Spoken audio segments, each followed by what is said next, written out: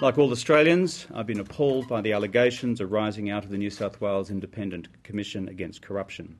As a party, we must stamp out a culture which has allowed this type of behaviour to take hold. Anyone who is uh, responsible for illegal or corrupt behaviour should face the full force of the law.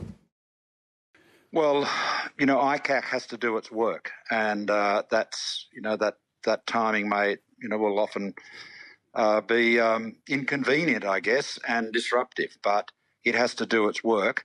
Um, the law applies to everybody, and at least in New South Wales, there is an ICAC. You know, the big the the where an ICAC, an integrity commission, is urgently needed more than ever is in the federal domain. Those opposite want to support the sort of show in New South Wales, Mr Speaker, which has seen the most shameful, the most shameful attacks on the former Premier of New South Wales, Gladys Berejiklian, Mr Speaker. What was done to Gladys Berejiklian, the people of New South Wales know, was an absolute disgrace, Order. Mr Speaker.